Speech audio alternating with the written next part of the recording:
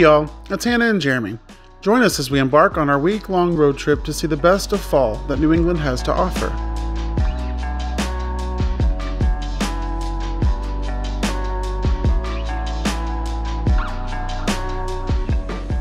In this series, we will visit Salem, Vermont, New Hampshire, and Maine, with our first stop in Salem to kick off Halloween.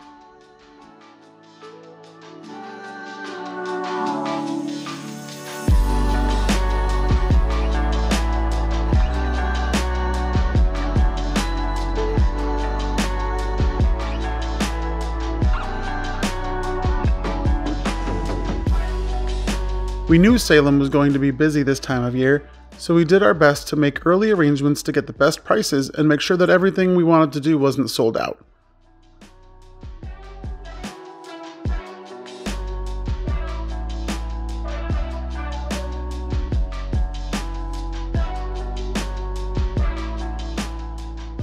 After casually driving by one of the filming locations from Hocus Pocus, the Ropes Mansion, which was Allison's house, we found our way to the day's first stop, the Witch House.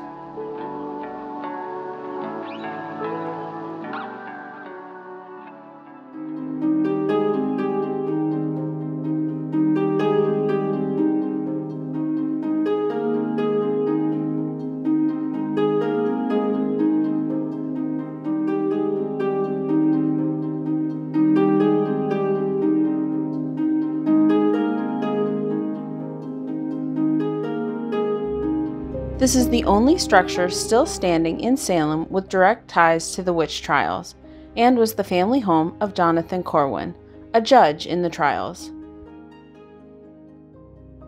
Corwin investigated the claims of witchcraft that sparked the 1692 trials, even signing many of the arrest warrants. No video was allowed to be taken inside the witch house, but later we visit another 17th century house and tour the inside, so keep watching to see an example of the furnishings.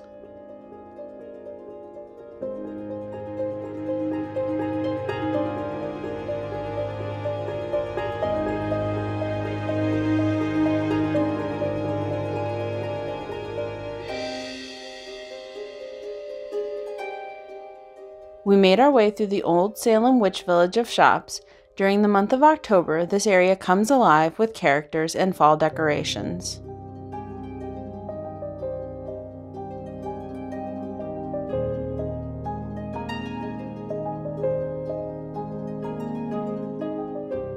The next stop of the day was the Salem Witch Museum. This museum offers an in depth look into the history of the trials. The museum also makes a great correlation between how the same witch hunt behavior has been seen throughout history with various vilified groups, and a hunt for humanity to find a scapegoat for their issues. The case was very nearly dismissed, but for a last minute accusation made once again by Mrs. Putnam. On the strength of that, old Rebecca Nurse was finally brought to trial in Salem on June 29th. Chief Justice William Stoughton presiding. Lead us not into temptation, but deliver us from evil. For thine is the kingdom, the power, and the glory forever and ever. Amen.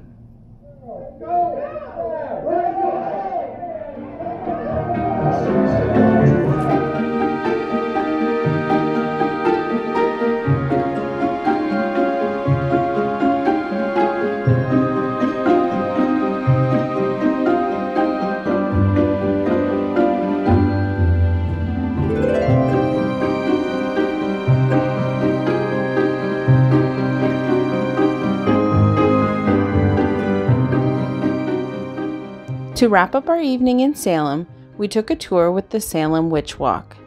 This was a great chance to learn about the mix of historic witchcraft associated with the Salem trials and the way that modern witchcraft has evolved into a draw for the tourism in the area. So we'll see if the music really wants to play because, like I said, witches and, and electronics, we don't do the thing. So, welcome. Welcome to the Salem Witch Walk. Again, my name is Sammy, and I'm happy to welcome you guys to the Ancestral Garden. And by the way, Pictures, yes. Videos, no. You don't want all the muggles learning all the secrets.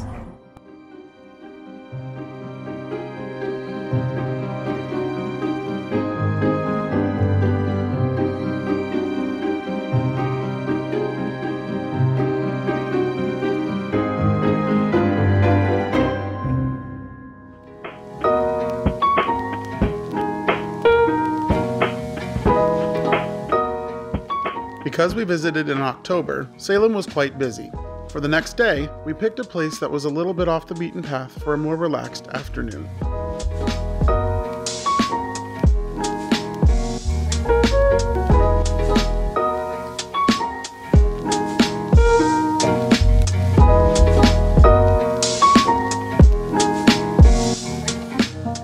The Saugus Ironworks National Historic Site is open seasonally and takes you straight into the 1600s colonial Massachusetts. The grounds include a restored 17th century black house, just like the ones in Salem, as well as a historic iron mill, forge, and restored water wheels.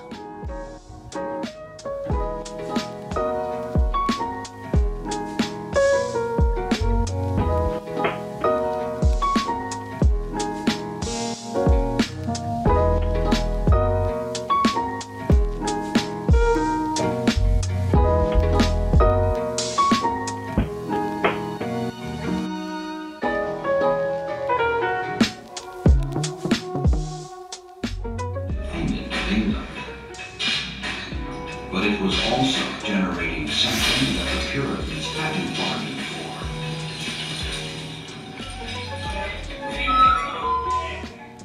Nearby, in the company town of Hammersmith, the laborers who worked hard also played hard.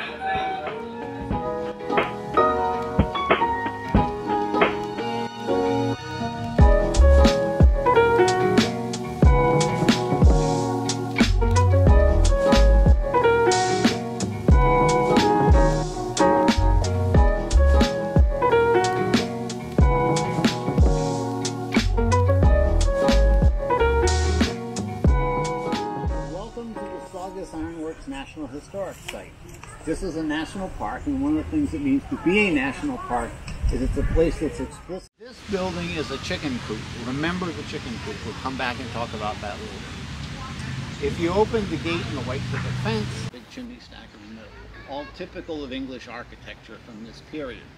What's distinctly American about it is all the wood.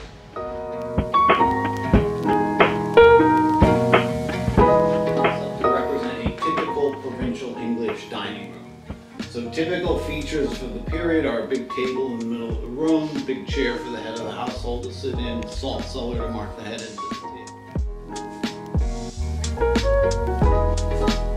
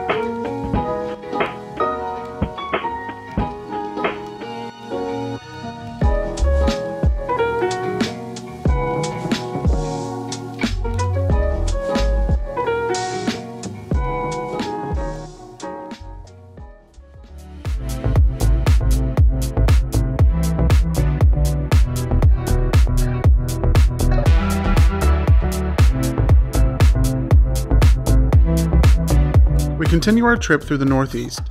The next stop on our list was Vermont, specifically the idyllic town of Stowe.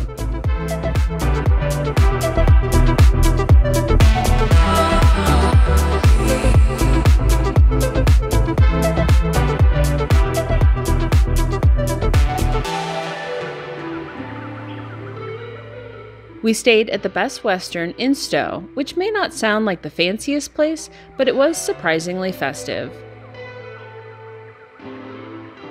One of the main draws for the hotel is the covered bridge right on site. New England is known for picturesque covered bridges, and this was the first of many that we saw.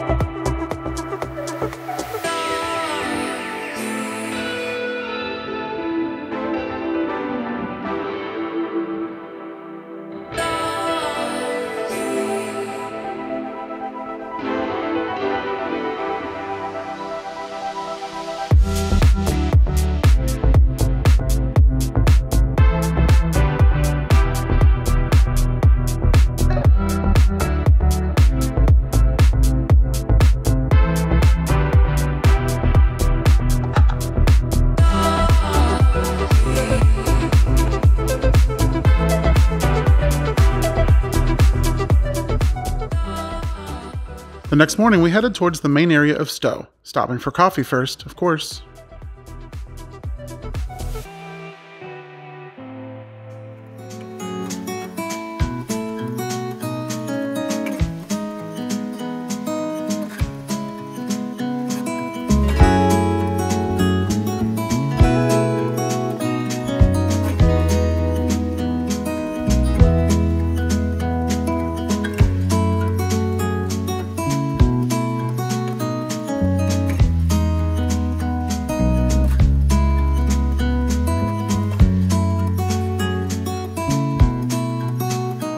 City of Stowe is one of the oldest towns in Vermont, having been settled in the 1700s. It has become a winter resort town that draws visitors from all over to enjoy the incredible ski slopes in the area. It is also considered one of Vermont's most haunted cities, with multiple sightings and legends.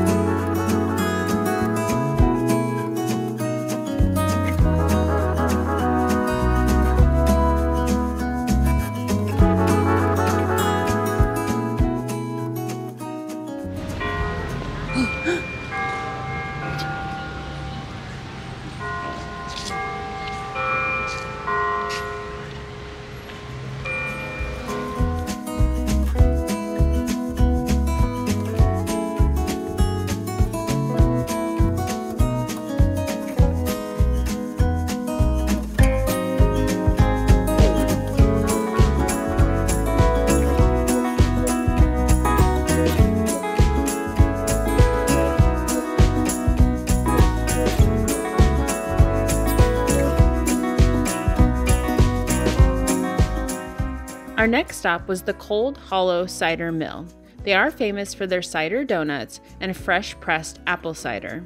We tried both and absolutely understand why everybody puts this on their list of must dos while in Vermont.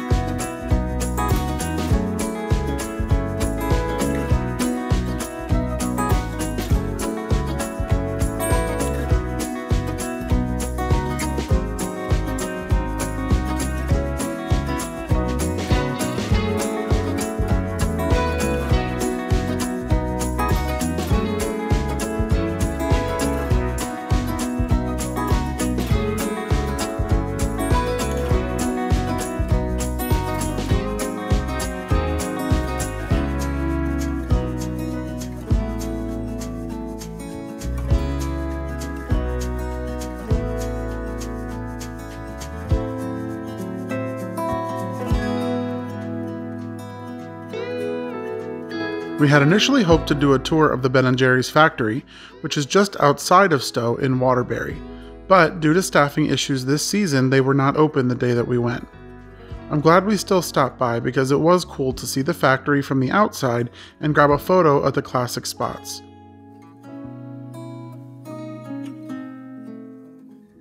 But we also had a chance to see the flavor graveyard, where they pay homage to all of the retired flavors. Some flavors were retired multiple times.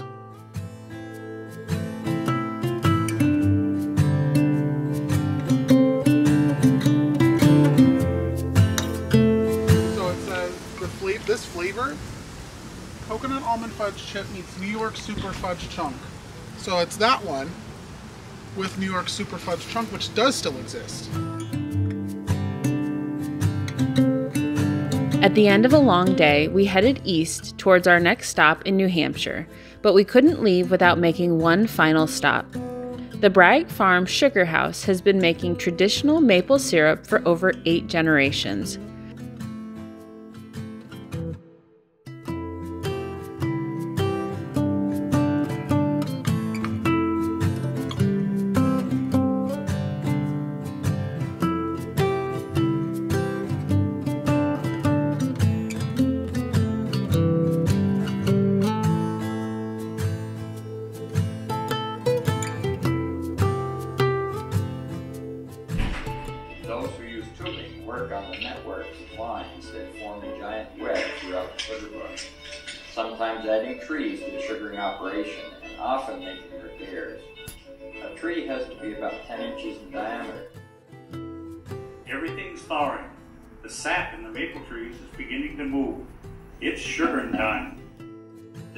Possible, crystalline clear, and accurately graded according to both color and flavor.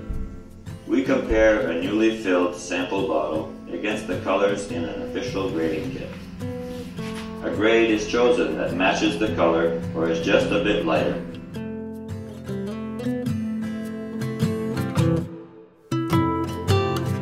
We grabbed a maple creamy, which is what they call soft serve in Vermont, and we headed the rest of the way into New Hampshire.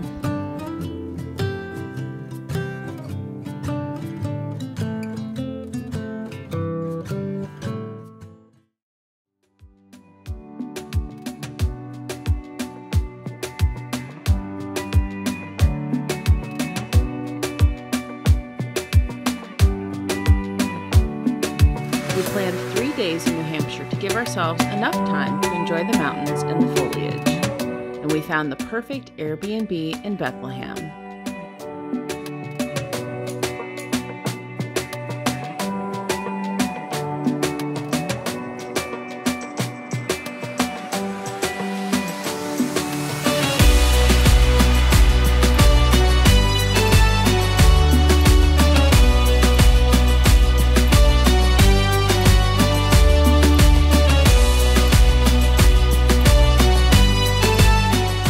Century A frame was a perfect getaway in the White Mountains. There was a fully equipped kitchen and two bedrooms, but arguably the best part was the views and the surrounding fall foliage.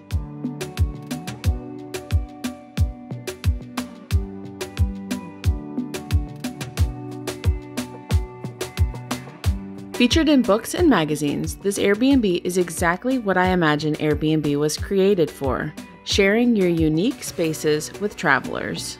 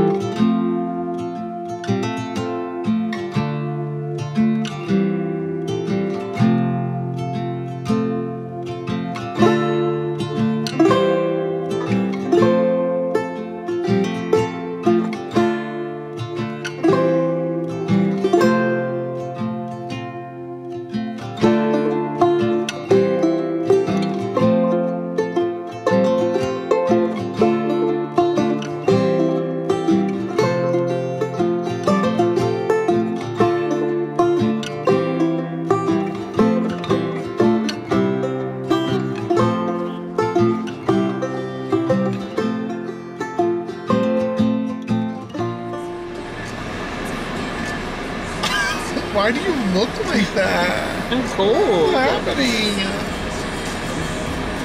Why is the air coming out cold? It takes the car a minute to warm up, hon. This is a tragedy. The next morning, we set out to drive through the White Mountains on the Kancamagus Scenic Byway, also known as the Kanc. First, we stopped at a local favorite, Polly's Pancake Parlor.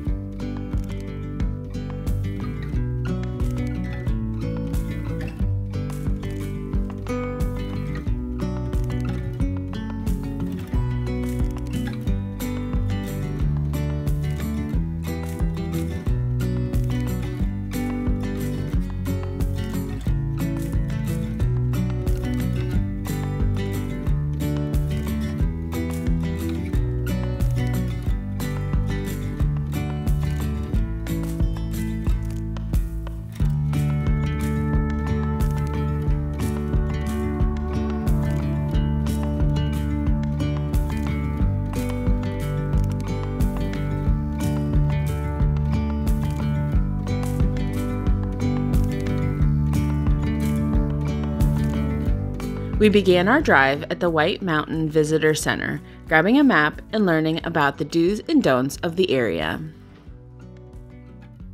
Do check the weather. Don't feed the bears.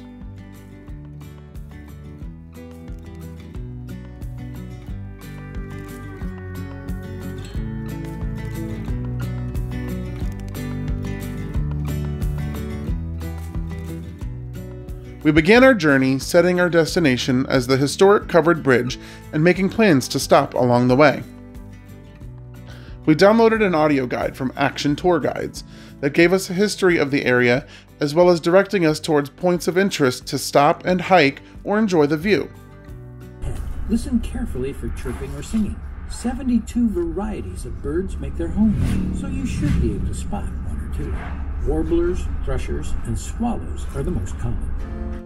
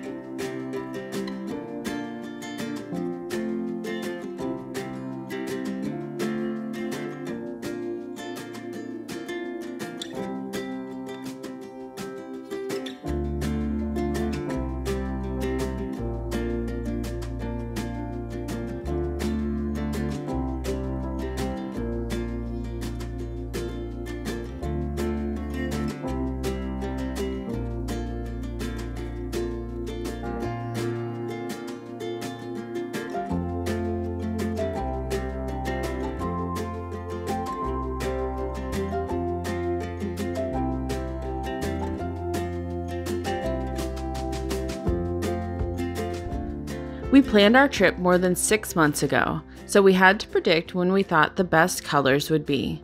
We decided to travel the first week of October based on last year's peaks. We may have been just slightly early, but throughout the week we were there, we definitely noticed the colors getting more vibrant.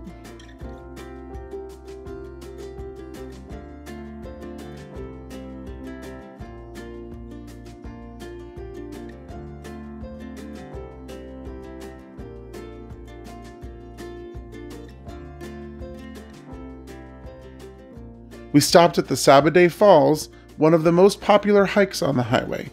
This was a relatively quick walk, taking us only about 20 minutes each way.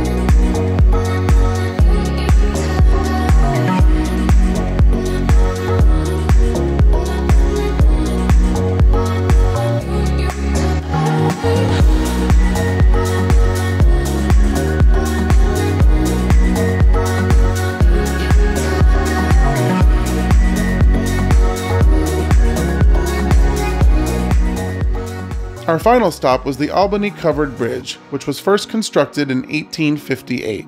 New England is known for covered bridges. The bridges were built like that to help protect them from the harsh winters in New England. Bridges built without a cover were expected to last about 20 years, while a covered bridge can last over 100 years, which the Albany Bridge is a great example of.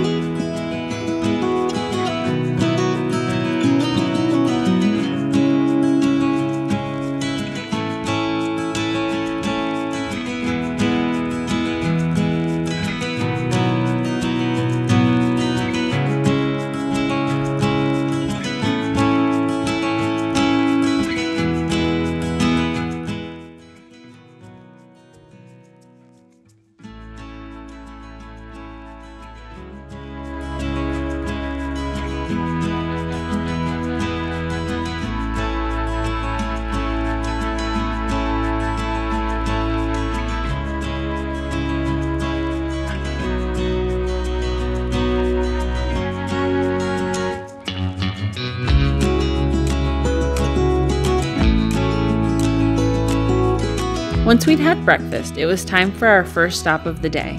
We headed to the Flume Gorge, a very popular spot for hiking in the area. Tickets can be pre purchased online for a specific date and time. It is highly recommended to plan in advance to ensure your spot.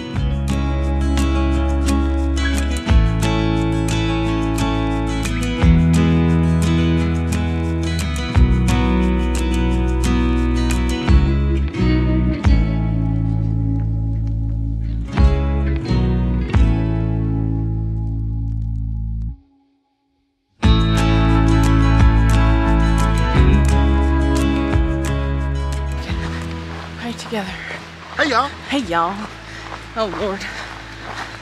I'm going this way.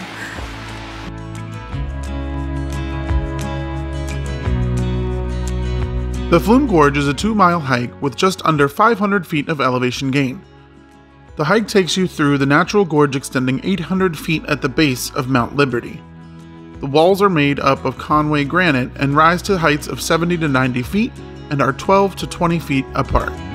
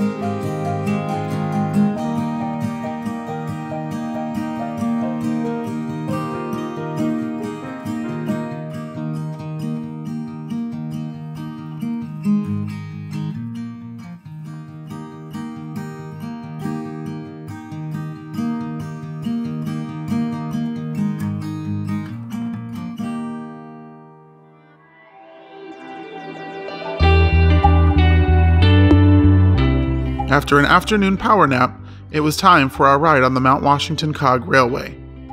Mount Washington is the highest peak in the northeastern United States at 6,288.2 feet.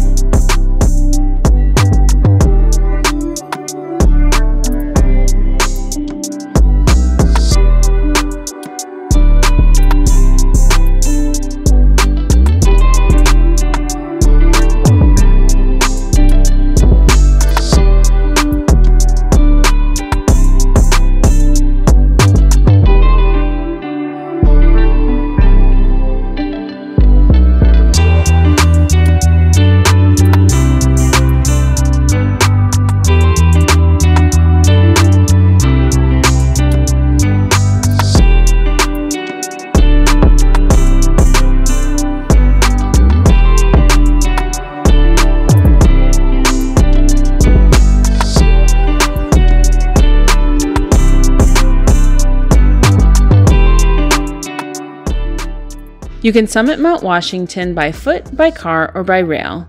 We opted for the rail because I'm somewhat of a railroad enthusiast, and it is nice for us to both be able to enjoy the view instead of making Jeremy drive the whole time like he normally would.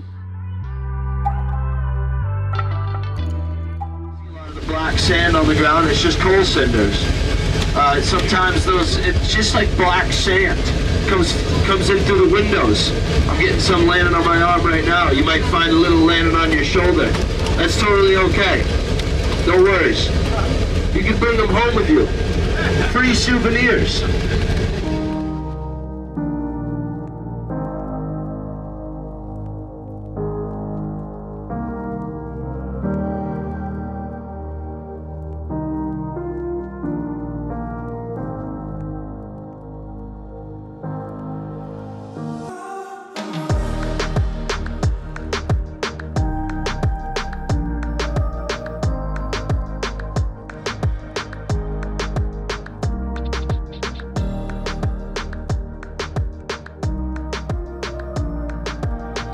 Railway currently offers both a biodiesel train and steam engine.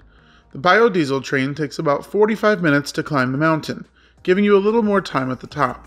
The steam engine is slower and also makes a stop about halfway to refill with water, so the trip takes closer to an hour.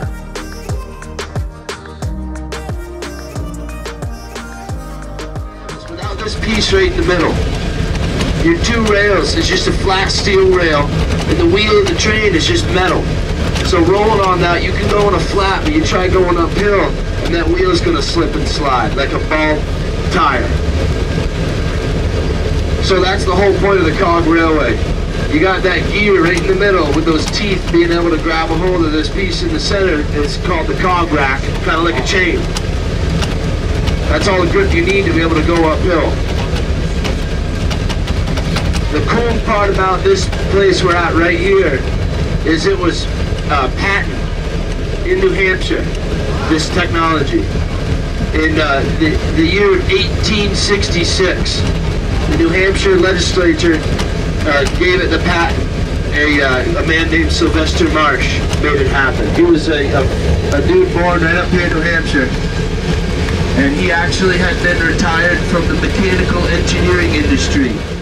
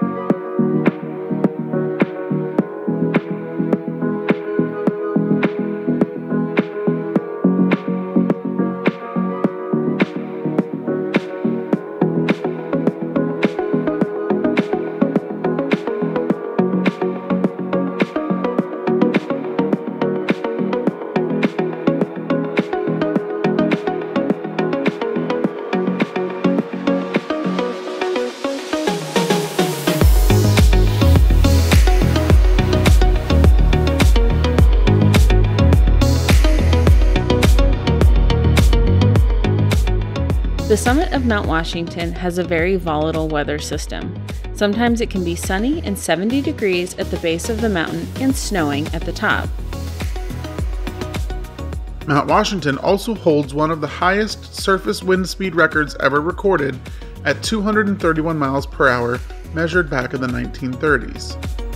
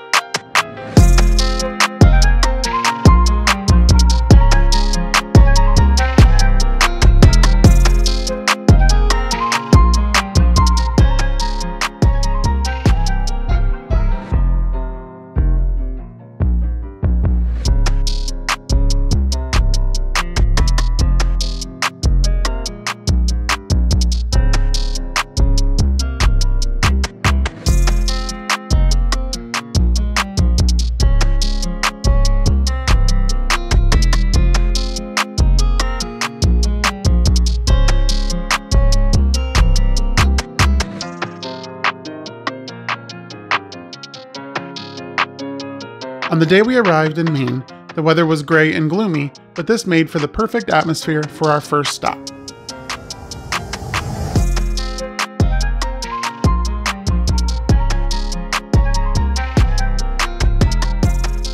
We made it to our destination at the Portland Head Light on Cape Elizabeth. The Portland Head Light is one of the oldest lighthouses in Maine and is one of the most photographed lighthouses in the entire U.S.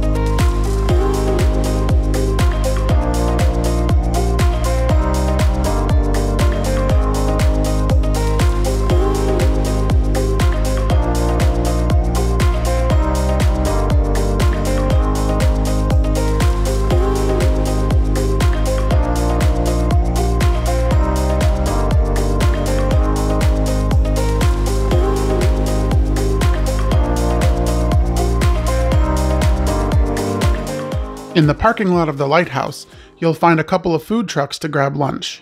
About five minutes. Okay, thank you.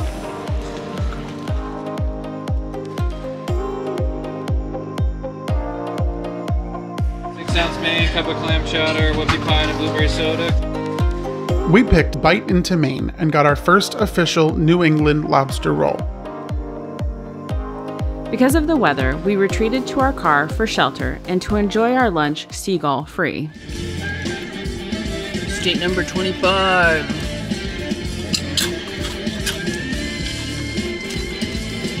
Honestly, I can't actually believe that.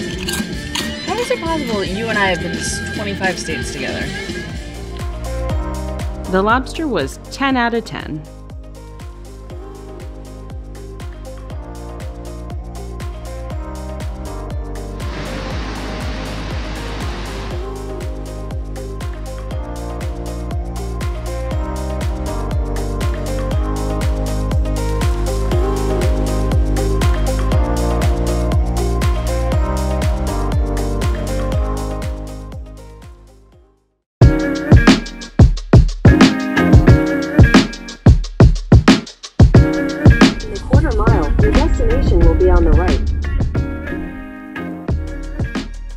Accommodations, we looked for something a little unique, and we ended up at the Higgins Beach Inn. It's a historic inn, and it's only a few blocks from the ocean. The inn still keeps its historic charm with touches like real keys, no key cards, no elevator, and the doors all still have the original hardware.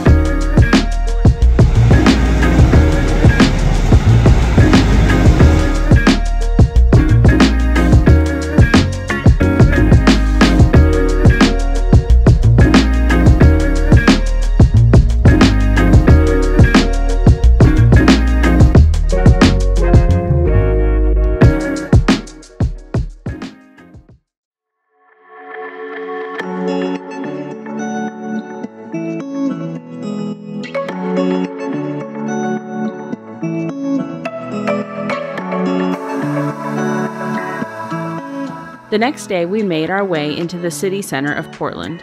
Our first stop for the morning was the Holy Donut to try their famous potato donuts.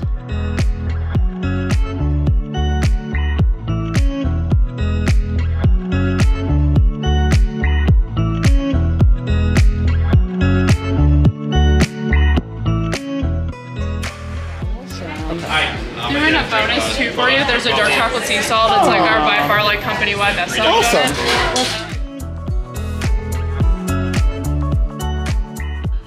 Next up, we headed to the pier to catch our lobster cruise for the afternoon. We booked with Lucky Catch Cruises and headed out on the water to learn more about what it takes to be a lobster fisherman.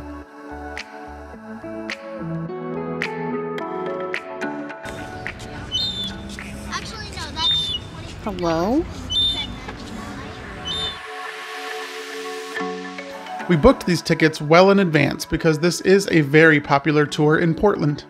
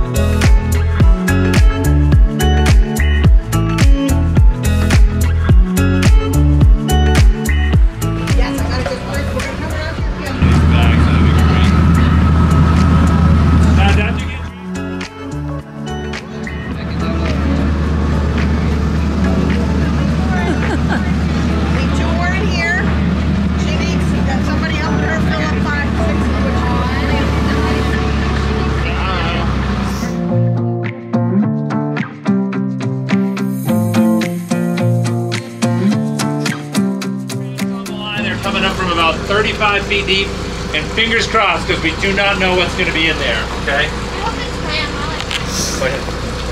Wham would be unlikely but possible. Oh, lobster is the first one, guys. That's what we're hunting for. And a fish! Watch your back. size requirement for lobsters here, so it's a... Fish? We had a measure here, so one at the back here, this carapace, fits to be three and a quarter inches. So we have this measuring tool so how we measure is we hook one side to the back of the eye, and we want that other point to land on its back. that's its toe, right? So yeah, well actually no, this. Right on the edge. Right on the edge. Close call. So you can see, so this looks like it's keeper size. Wow. On the back, this is another keeper. All right, nice yeah, work. If it touches, We're gonna throw that back. If it touches the tail, then the back is shorter than three and a quarter, and then it would, the lobster would be too small. Yeah. Unwrap the green string. So the white's attached, it'll just drop in the cage. Small one, yep. And then I'm gonna swap with you. And you, and I'll swap with you. We got three keepers. And you pull it up, suspend it up all on one side as high as it'll go. I think you've done this before. wrap it around and then wrap the white on top.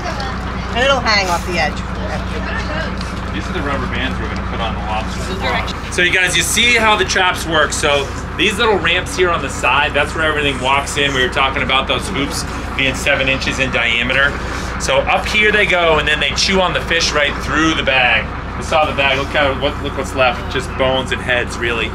And eventually, they're gonna land on the floor of the trap, and from the position down there, it's hard to get back out.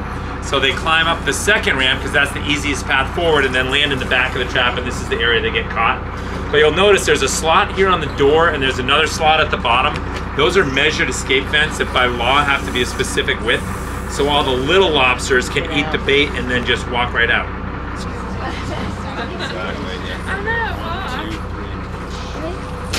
Why is there that book there? One, two, three, push. Nailed it. Three, push. Nailed it.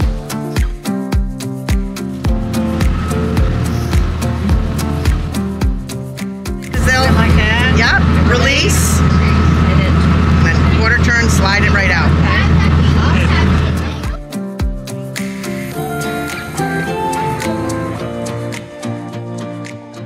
So right from where? So just right at the back of the eye. Toss it over like a hot Don't potato. want to poke it in the eye. Ooh, nice. Okay, so it's the right size. So let's take a look. Is it So male or female? Male. Male. Great. So this is a keeper. Cool. Great. All right, we're flaming that one. Good, that was good.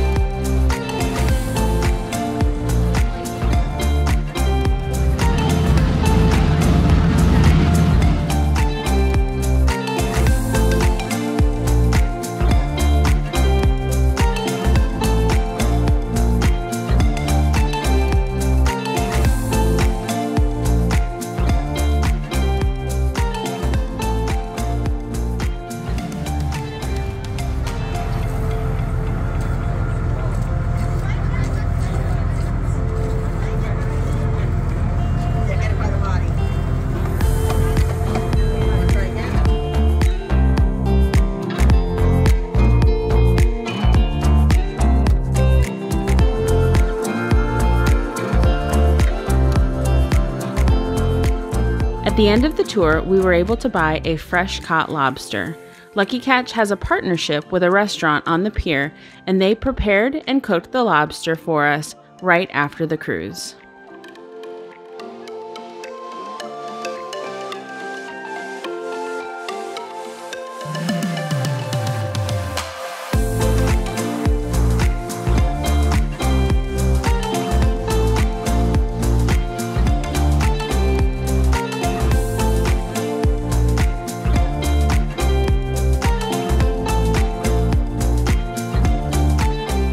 I'd gather to say this was probably the freshest lobster we will ever have.